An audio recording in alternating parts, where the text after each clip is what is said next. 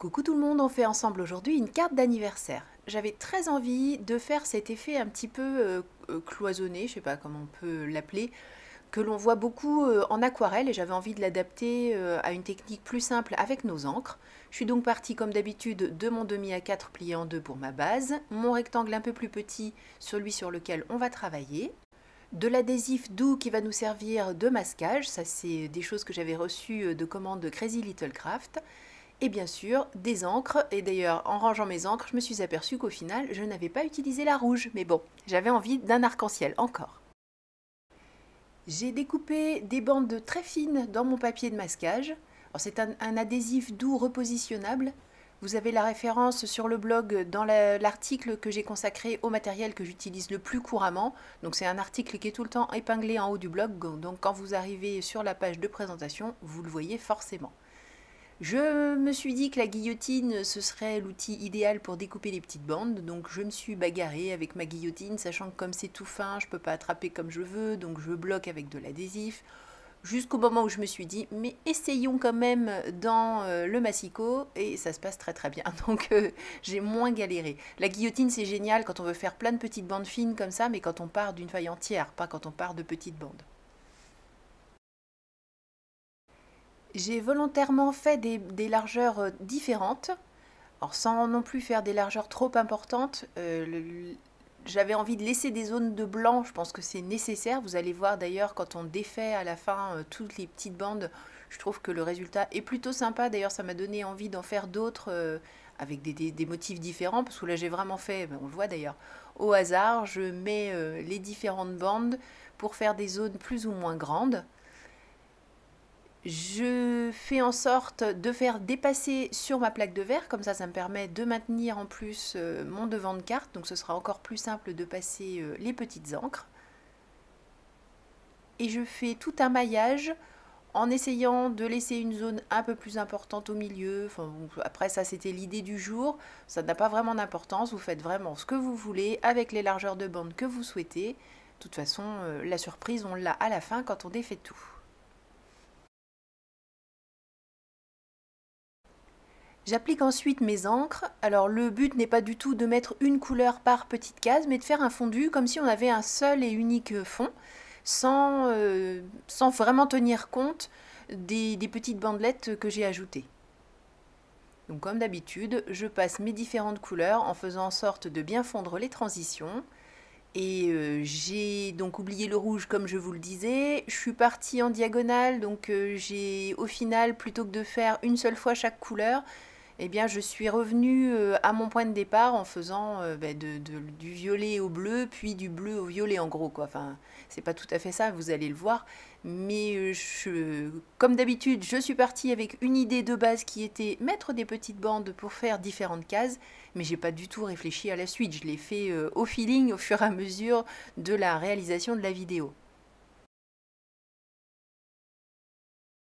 Quand j'arrive ici, je me dis ah, comment je continue? Bon, bah, je repars sur un petit peu de jaune. Je trouvais ça plutôt sympa qu'il y ait cet euh, impact lumineux au milieu. Et euh, comme j'étais un peu coincée, euh, mais parce que j'ai complètement laissé tomber le rouge, si j'avais mieux réfléchi le truc, enfin bref.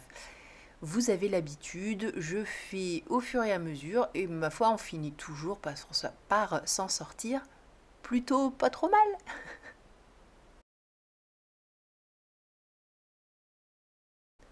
Une fois que la partie couleur est terminée, je passe à la partie tamponnage.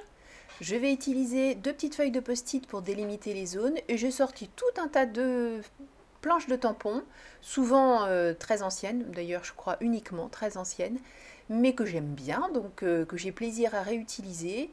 Et je voulais des choses très graphiques pour euh, mettre en petite apparition dans chacune des cases. Je m'installe dans la planche à tamponner pour le cas où j'aurais besoin de passer deux fois. Je vais utiliser la Versafine, même pas eu peur de faire des bêtises et pour une fois ben, j'en ai pas fait. Et donc les fameux petits post-it, alors j'en ai toujours euh, qui me servent à ça et là ils étaient très très très très très utilisés. Donc j'en prends deux nouveaux qui bien sûr me serviront à nouveau. Et j'en profite pour vous dire que j'ai acheté ces aimants euh, auprès de Jennifer Passion, qui est démonstratrice Stampin' Up, et je ne regrette absolument pas mon achat parce que vraiment ils sont super forts et maintenant ça tient. Voilà, je peux tamponner, ça ne bouge pas, donc ravi. Je délimite la zone dans laquelle euh, je souhaite faire apparaître le motif. Alors autant tout à l'heure pour les couleurs, j'ai fait comme si on avait un seul fond de carte, autant là par contre, je fais en sorte qu'il y ait un tampon par petite case.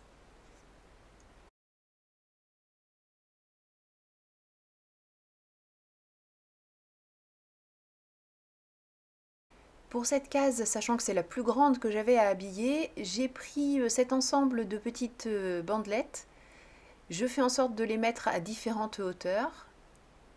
Et ça va me donner l'idée après, pour terminer dans les plus petites cases, d'utiliser une de ces petites bandes juste pour faire comme des pointillés. J'aurais pu sortir ma règle à pointillés, mais au moins comme ça le noir est le même partout. J'ai toujours mon noir versafine. Et d'ailleurs, vous voyez que je n'ai même pas eu peur, je l'ai mis à proximité de mon coude droit. J'aurais tout à fait pu faire finir la manche du pull dans l'encreur, mais même pas. J'étais en forme ce jour-là.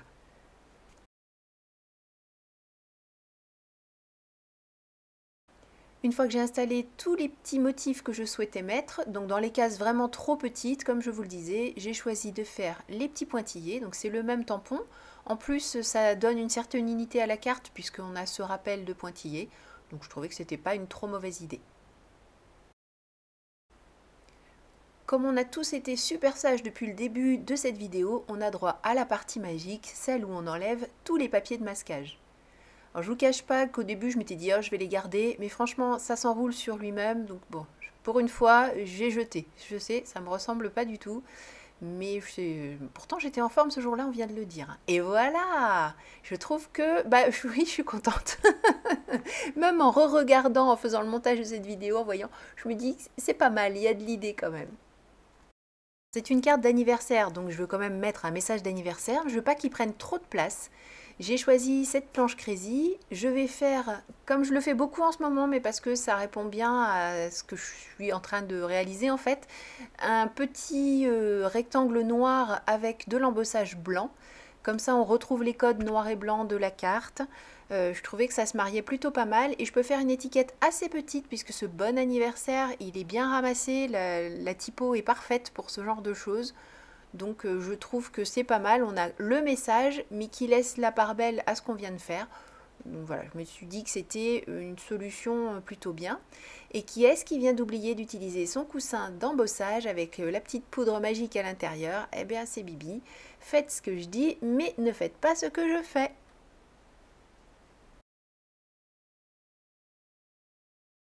Comme ma guillotine était un peu triste, que j'ai mal parlé d'elle tout à l'heure, c'est elle que j'utilise pour finaliser le petit euh, rectangle de mon sentiment.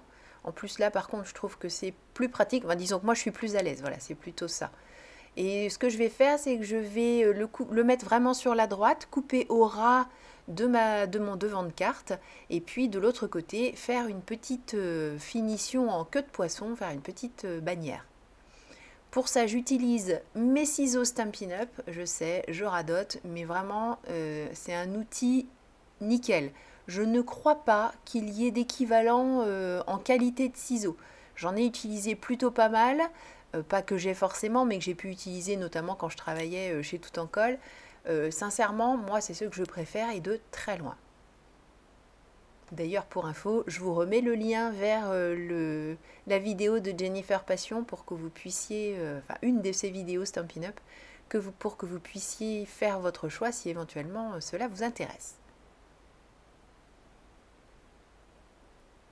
Je colle la carte en direct, par contre le sentiment je voulais lui donner un peu d'épaisseur, donc je sors à nouveau mes petits adhésifs pour miroir